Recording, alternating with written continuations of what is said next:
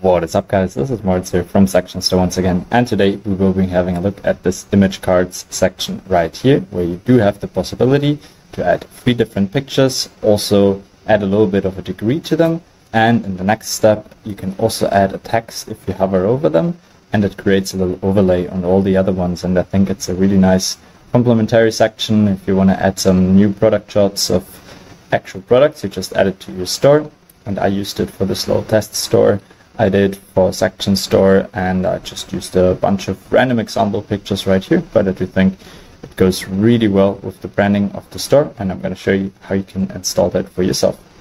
The first thing you have to do is actually heading on over to the Shopify App Store where you gotta get the section store app and in the next step you can easily open up the section store app in your Shopify admin area.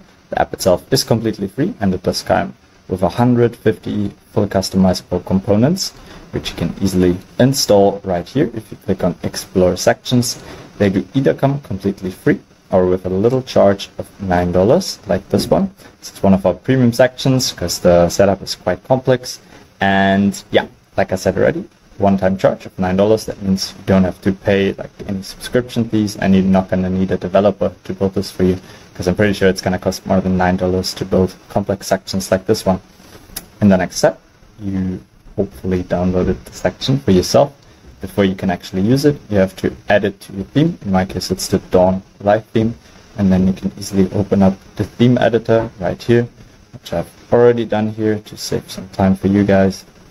That's, by the way, also one of our banner sections. I just brought out a video to that one.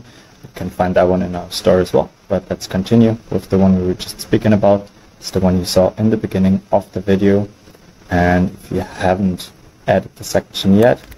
Just have to type in SS image, section store image cards. That is the one I was referring to. And it's going to give you this little default version right here. Let's always save it up if you added a new section. That you can avoid any crashes of the section itself. And if that has loaded up, we can immediately start editing it. Perfect, that is looking good. The first thing I want to do actually is show you how to add a picture. So the section consists out of this main block where you can do customization things to the whole thing itself. And here in those little blocks, you can add the actual images. I'm just gonna do a random one just as an example to show you how it's done. And it should update in the live version immediately. That is looking good to me. And here you can see the text also, which you're gonna get if you hover over it. So here we have story, destination everywhere, Singapore inbound, and you can add this little button as well. If you hover over it, that is looking nice already. And another thing I want to show you is that you can also add this little link right here. So you can connect the product to it. I'm just going to do a really random one. I just want to show you that it's possible. So if you have a product shot or like a mood shot, of a product of your own story, you can easily link that to that. And yeah, let's say we just give this a little save it up right here.